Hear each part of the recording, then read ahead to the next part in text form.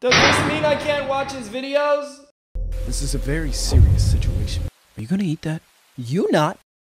You don't understand.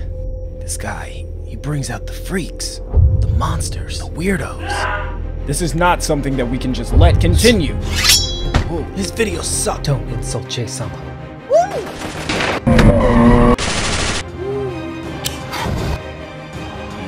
I like this. Now, I'm going to hurt you really, really bad.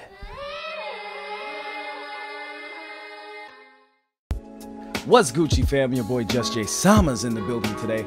And today is a very special video. It marks one day. We are 24 hours away from Suicide Squad. Now, I wanted to put my face cam on for this video just so that way I can visibly show my excitement but I didn't want to put a shirt on today, so please forgive me. But you guys, I'm glad you enjoyed the parody if you made it to this part of the video. Um, basically, I would kind of want to give a couple of predictions for Suicide Squad. I have to say, I've been really looking forward to this movie for about a year and a half now. I am just so excited. Not too much for the Ben Affleck Batman stuff, even though I love Ben Affleck as Batman. I'm more excited, and please throw shade if you must, but Jared Leto's performance as the Joker. Like, holy crap, I'm excited because Jared Leto brings a whole new Joker to the table. Yeah, people want to say, oh, Heath Ledger's the best Joker, Heath Ledger, Heath Ledger. Yeah, Heath Ledger did a good job for Christopher Nolan's Joker. This is a completely different Joker, all right? This Joker is is just he ran out of fucks to give. Like, it is over, it is done, completely different, more of a clown this time around, and I, am really glad to see that. And you know, judging from the from the previous Jokers that we had, all great. Heath Ledger has been the best so far, but I honestly think that Jared Leto is going to give us a performance that is going to top Heath Ledger's. That's right, I said it. He's gonna top Heath Ledger's. All right, I'm calling it right now. And then as for Margot Robbie, I've just been, huh. I've been a Margot Robbie fan since Focus, so about two years.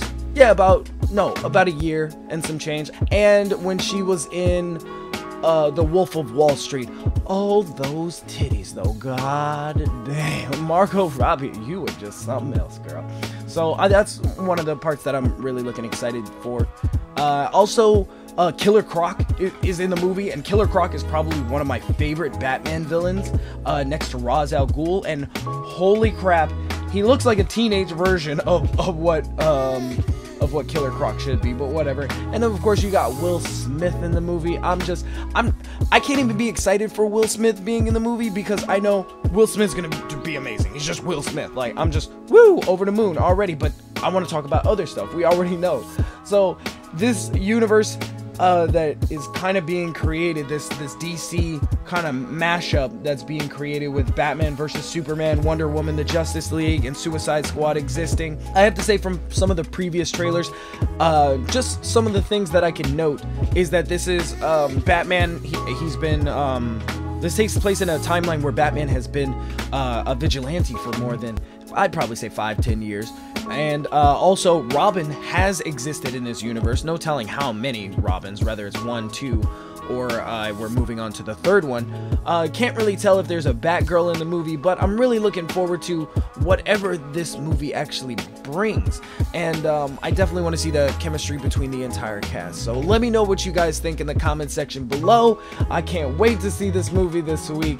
This has been Just Jay Sama. Make sure to give this video a like, and I will catch you guys tomorrow.